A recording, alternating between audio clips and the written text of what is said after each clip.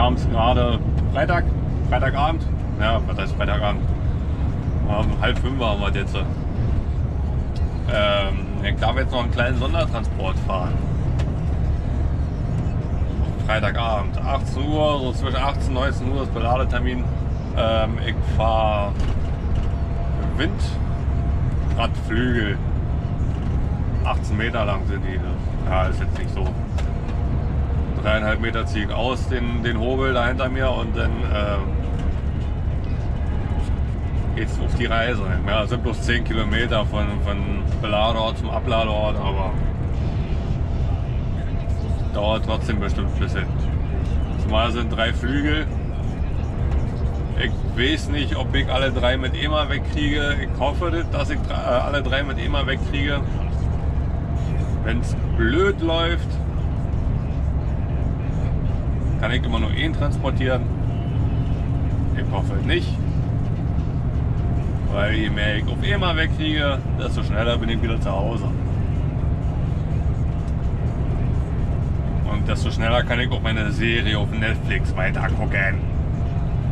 So spannend gerade. So spannend.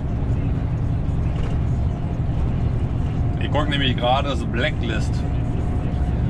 Extrem geil die Serie. Also wer, wer, Netflix, äh, wer Netflix hat, die, die Serie, die kann ich nur empfehlen. Macht Spaß zu gucken. Die hat mich gleich zum Anfang an, hat die mich gepackt. Also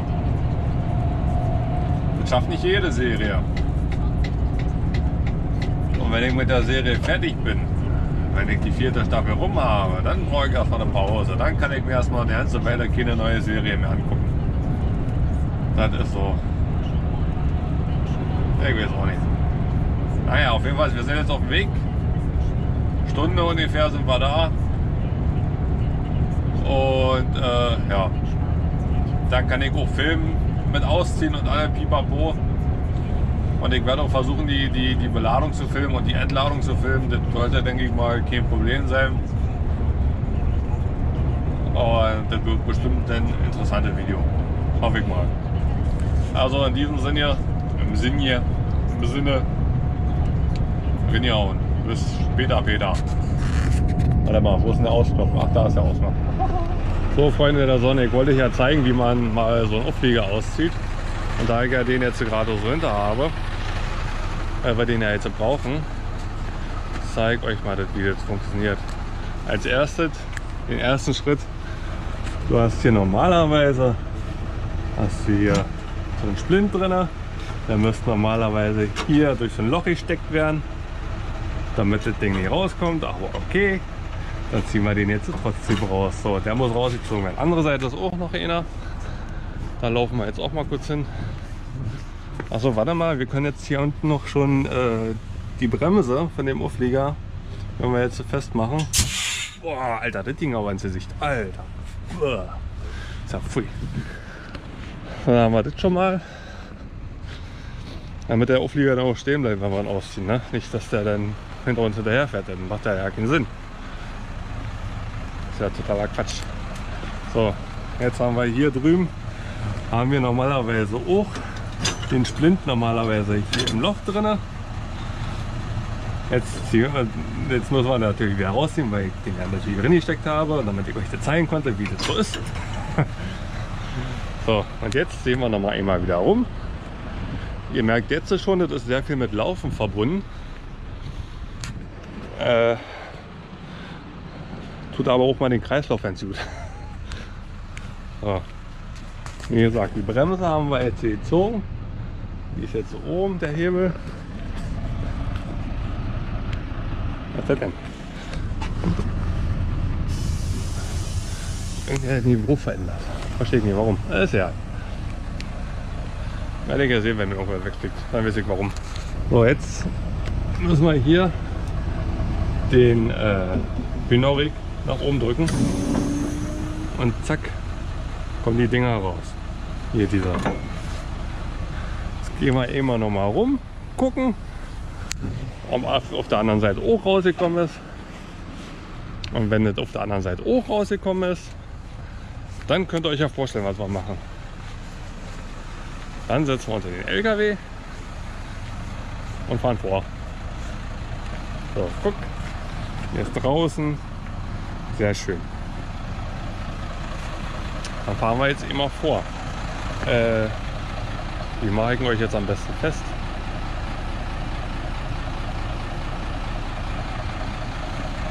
Ja, warte mal, ich habe so eine Idee. Geht gleich los. So, ich habe euch jetzt mal so notdurftig hier an so einem komischen kleinen Rahmen festgemacht. Mal kicken, ob das alles hält so. Ich fahre jetzt mal vor, ja? Also bis gleich.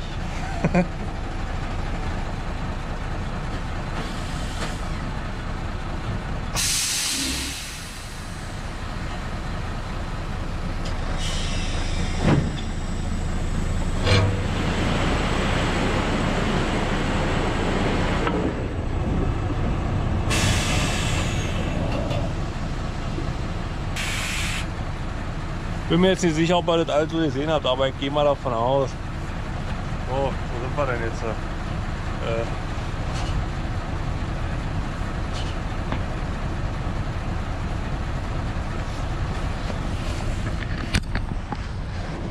Wir sind jetzt bei 3 Meter, dreieinhalb möchte ich haben. Äh, hol ich mir mal kurz einen Zollstock. Hol mir mal kurz einen Zollstock und dann eigentlich sind es 3 Meter. 50 Meter, 50, 10 Meter. Fahren wir noch ein Stück vor.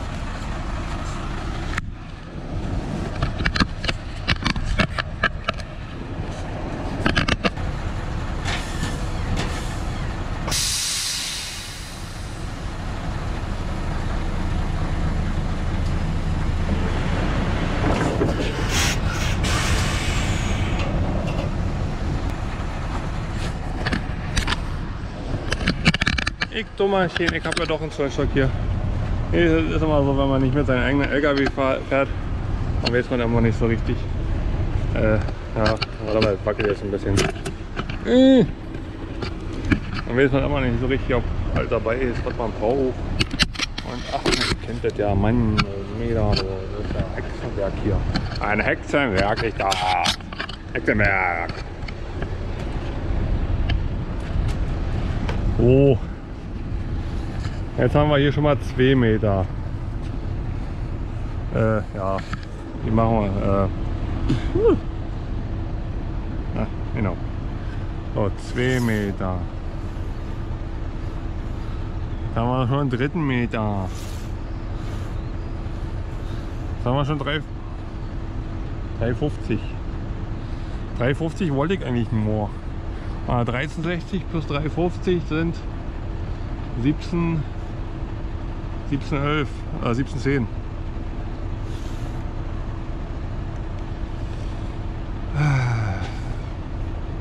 Schnauze. Lassen wir den jetzt äh, so. Warte mal, wir, wir machen jetzt einmal kurz äh, die Dinger hier wieder drin. Da müssen wir wieder rumgehen. Ich sage, das ist viel mit Laufen verbunden. Marathon, hundertprozentig. Eigentlich wollte ich jetzt ja nicht so lang. Aber wenn, wenn die Dinger wieder drin sollen, einfach mal hier runter ziehen. Oh, jetzt guck mal. Der ist ja nicht richtig drin. Das ist, weil. Alter. Das ist, weil die Zylinder jetzt hier nicht im Loch drin sind. Die äh, stehen jetzt irgendwo dagegen. Immer so nebenbei.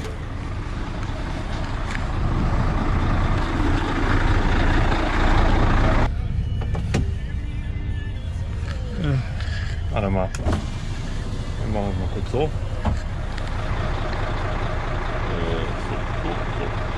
So, rückwärts ganz mal Knie. Ach Mann, ich wollte jetzt noch vorwärts fahren. Ich wollte nicht zurückfahren.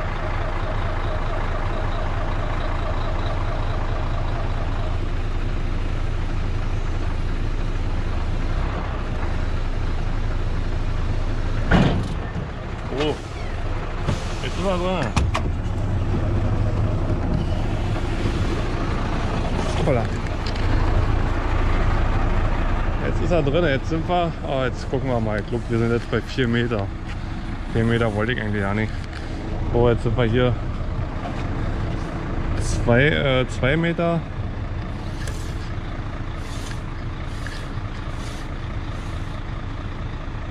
Ah, 4 Meter. So, wir lassen es auf 4 Meter. Den Lenner immer kurz anruckeln. Damit das Ding da richtig reniert. Damit wir auch äh, die Stöpsel wieder kriegen. Da hinten liegen übrigens die Teile, die ich mitnehmen muss.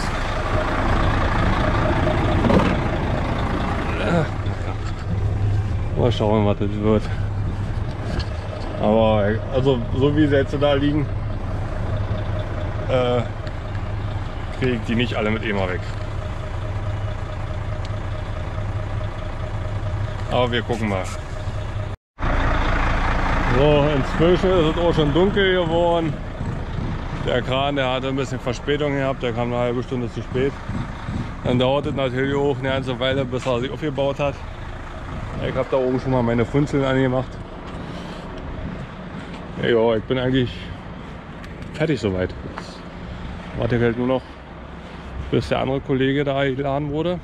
Von der anderen Firma, für die wir da fahren. Ah, guck mal schön, bling, bling, bling, bling, bling.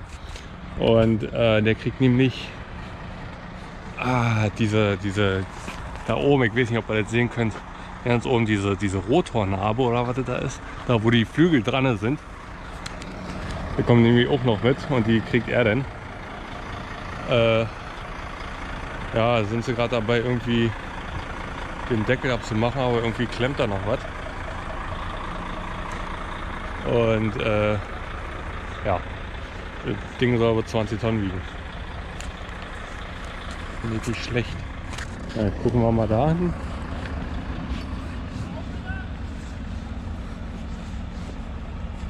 Das kleine Scheißding wiegt 20 Tonnen.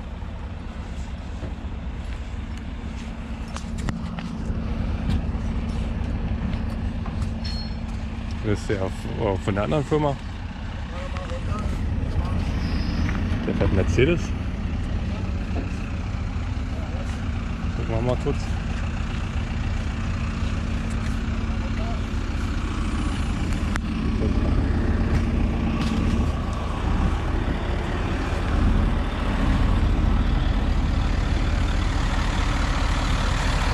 Schöner Dreiachser MP2, MP3 ist das. Wisst ihr Bescheid.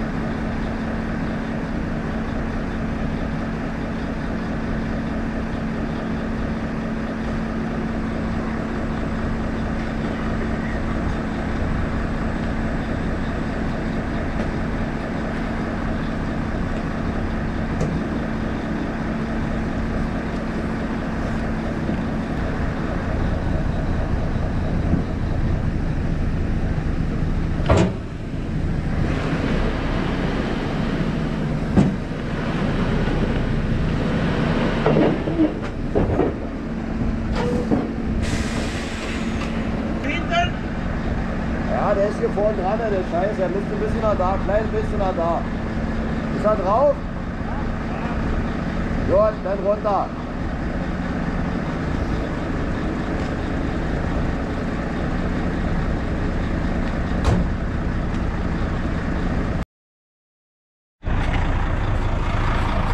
So, Freunde der Sonne.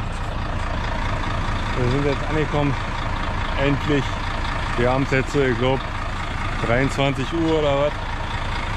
Äh, bin da oben um halb elf bin ich weggekommen da. Als erstes ist uns dann erstmal aufgefallen. Ein bisschen kurz ausgezogen. Naja, ich habe eigentlich gedacht, das wäre auch okay, wenn, wenn da noch was über den Hänger drüber hängt. Aber äh, nee. Und dementsprechend musste ich dann auch noch mal komplett zwei Meter ausziehen.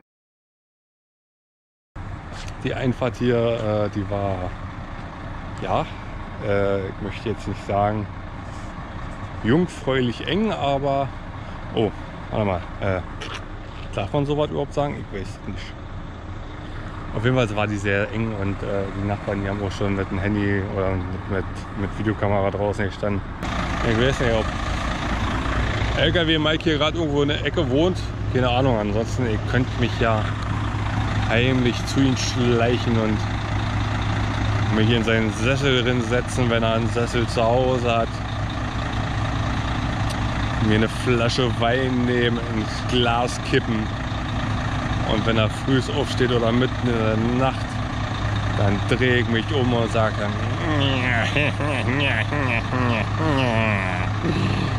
ich habe auf dich gewartet.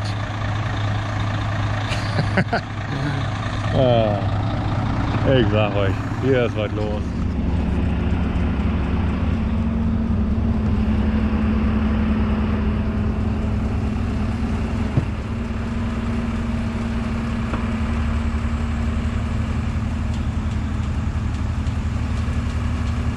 Bis hinten an die Wand ran? Ja. Bis hinten an die Wand ran.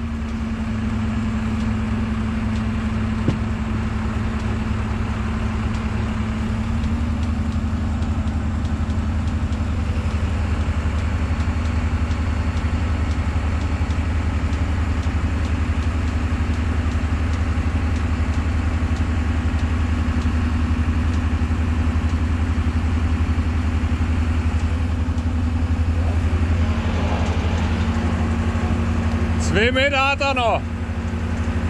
Ja, vielleicht anderthalb.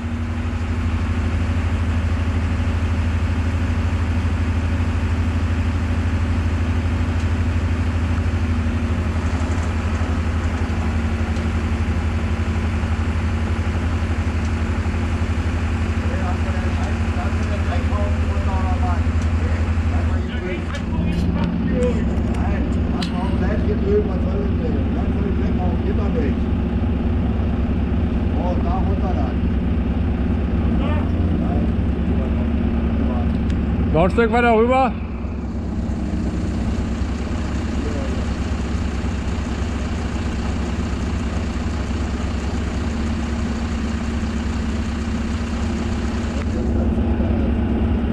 So ab.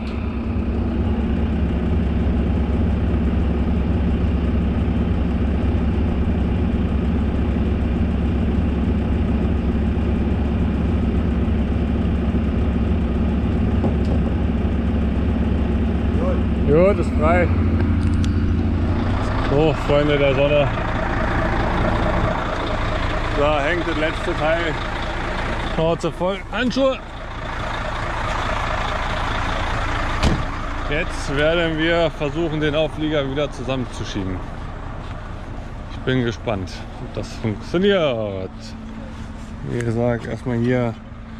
Äh, komm, da hängt er doch, da hängt er doch.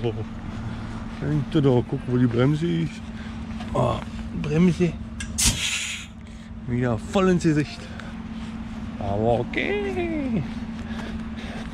Ich kenne ja nichts anderes. Ah, okay, das hört sich jetzt ein bisschen doof an, aber okay. So, jetzt Kynorek rausziehen. Jetzt laufen wir mal nicht wieder außen rum. Jetzt Ja, gönnen wir uns mal den Luxus und bücken uns. So. Äh.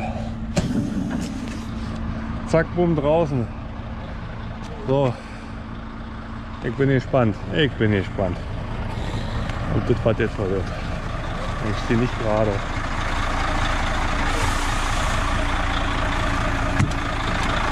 Ich bin gespannt, ich bin gespannt. Fideralala, fideralala, fideralala. Wir haben 0 Uhr. So. Wir können gucken, ob der Onkel Andi richtig ist. Warte mal, erstmal. Lenkrad, auch wenn ich nicht habe. Lenkrad Was ist das?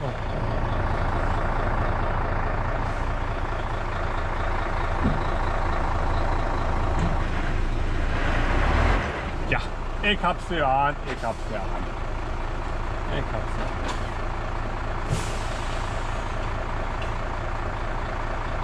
Filagalala, filagalala.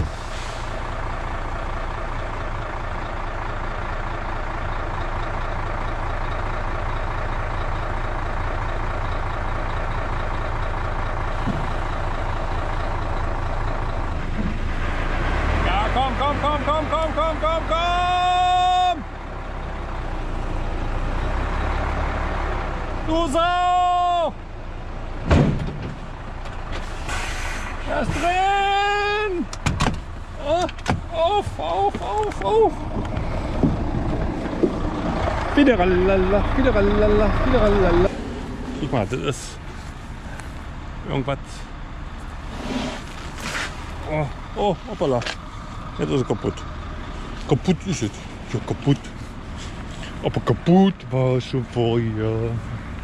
So, was machen wir jetzt? Achso.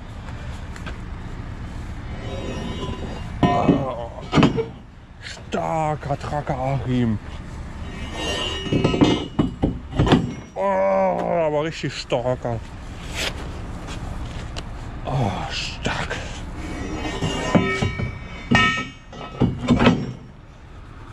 So, und der Ganze jetzt auch 365.000 Millionen Mal.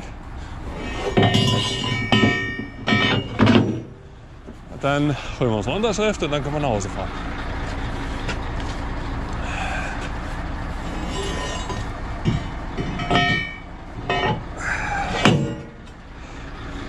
Muss ja mal sagen, gut, dass mein rechter Unterarm so trainiert ist, wa? Oh Gott, jetzt kann ich aber nicht mehr. Oh, fuck. Da muss ich glaube ich noch ein bisschen mehr trainieren. Ach, komm. Ihr könnt zusehen, wie gut ich jetzt fahre. Und das vergeige. So, warte mal, so, guck da mal da oder so. Wo muss ich denn jetzt lang lenken? Oh Leute, wo möchte ich jetzt lang? Wo möchte der Herr, Herr Tracker Achim so lang? Nein, das war die verkehrte Richtung. Ach Leute, Leute, ich hab gedacht, auf euch ist Verlass, aber irgendwie. Das schläft, das schläft.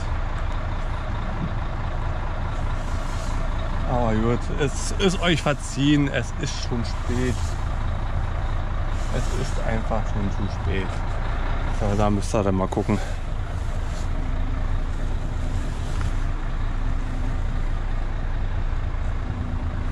Äh.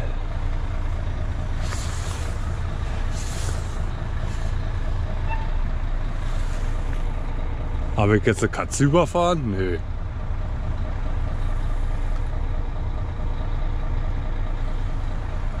Das hat auch gerade gehört. Bip.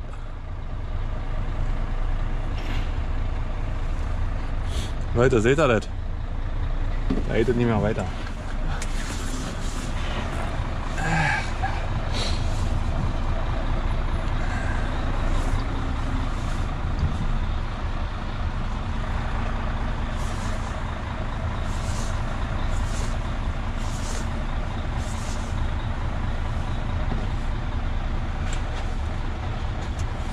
Ich stelle mir gerade bestimmt strunzendämlich an.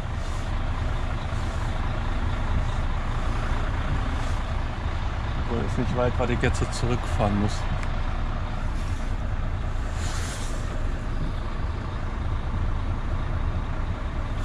Wenn das jetzt eine Dreipunktwendung wird, meine Freunde,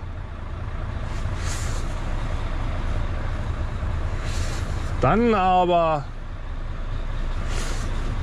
dann möchte ich aber bitte Applaus.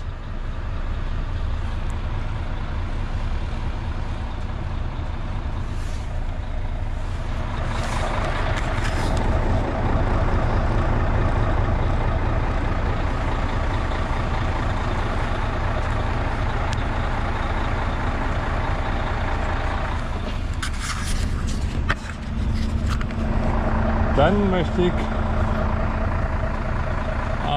gut, gut.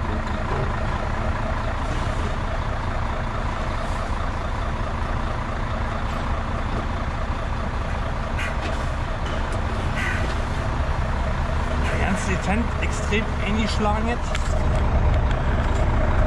Scheiße.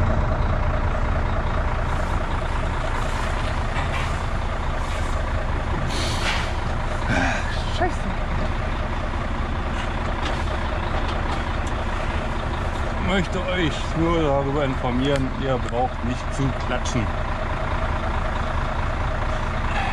Sei euch nicht vergönnt.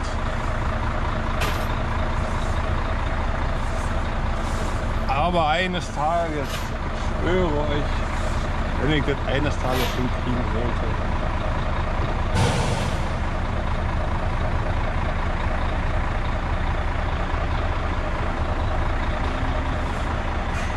dann aber, oh Gott, also mit dem Arm linken im Stand ist scheiße. Ja, vier, viermal scheiße. Ah, egal.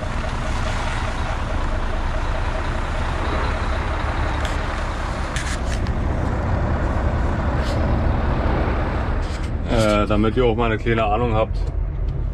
Oh, eine Miezekatze. Äh, wie der Weg hierhin war.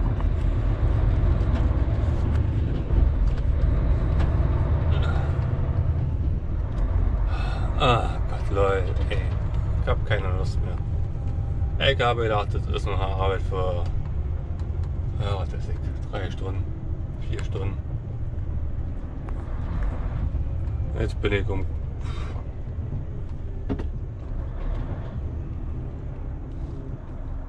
Ach Gott, ey. Ja, rausfahren ist ja genauso beschissen wie rinfahren, ey.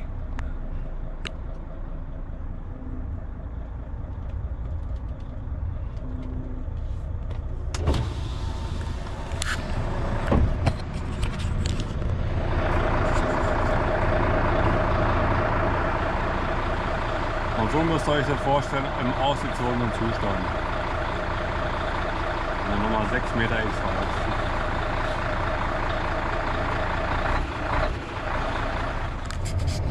So, von hier vorne links bin ich gekommen. Das war noch okay. Also, nee, komm ich da nicht rum. Nee, ach scheiße, ey. Heute. Nee, da fahren wir ganz.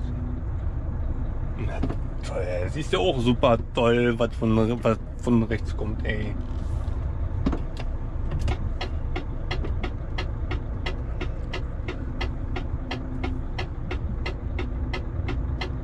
Müssen wir an der nächsten Kreuzung drehen oder was, keine Ahnung.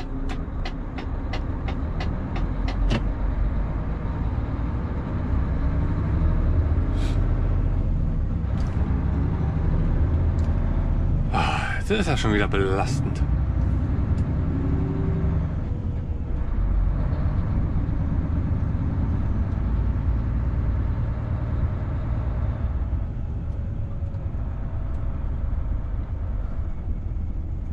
Was war mit nächster Kreuzung? Nächste Kreuzung kann mich mal kreuzweise. Hier ist also ein Parkplatz.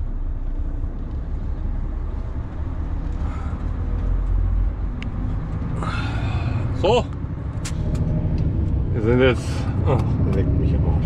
Wir sind jetzt auf dem Weg. Gut, ich mache jetzt aus für heute. Vielleicht, wenn noch irgendwas passieren sollte, werde ich es nochmal schnell anschmeißen. Ansonsten wunderschönes Wochenende. Ich werde es genießen oder auch nicht. Mal gucken. Wir fahren äh, nach Polen. Haare schneiden. Ihr wisst Bescheid. 5 Euro. Und die schneide ich krumm und schief, das läuft. Ja, ich fahre zum Haare schneiden nach Polen. Und ja, mir ist es Wumpe. Also dann, äh, oh, Hunger habe ich.